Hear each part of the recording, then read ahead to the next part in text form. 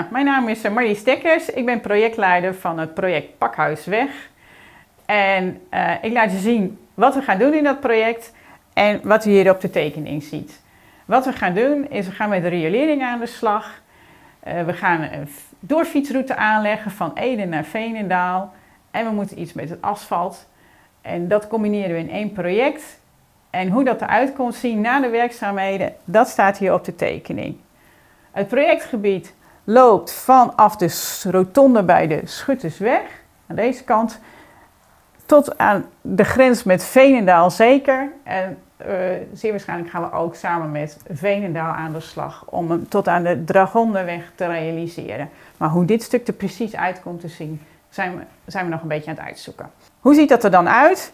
Nou, in het rood is die doorfietsroute aangegeven. Aan één kant van de weg kunnen de fietsers lekker snel van Ede naar Veenendaal en andersom. Uh, de rijbaan uh, wordt voorzien van uh, nieuw asfalt. Hier boven de A12 hebben we de om- en omregeling. dat doen we om niet al te veel auto's in de toekomst over deze weg te krijgen. daarvoor zijn stop, komen stoplichten, zodat de ene bij rood stoplicht kan deze kant over en, bij, en als het weer groen is, de andere kant.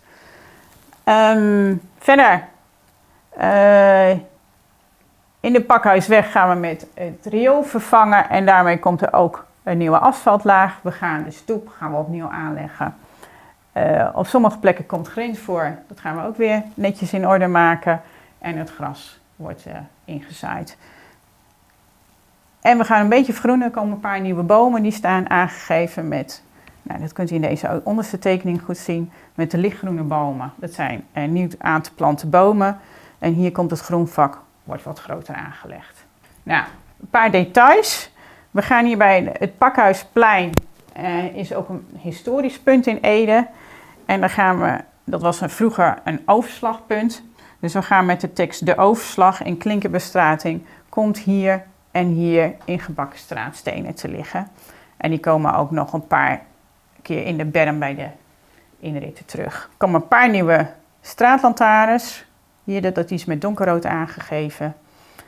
En voor de rest spreekt volgens mij de tekening voor zich. Want alles wat u op de tekening staat, kunt u hier in de legenda terugvinden wat het betekent. Nou, dit is het inrichtingsplan van het project. Um, nou, op hoofdlijnen ligt, uh, is het helder wat we gaan doen. Uh, mocht u nog vragen of opmerkingen hebben of duidelijk een fout hebben ontdekt op de tekening, laat het ons weten. Via het contactformulier op de website van de gemeente Ede kunt u uh, uw vraag of opmerking indienen. Bedankt voor het kijken.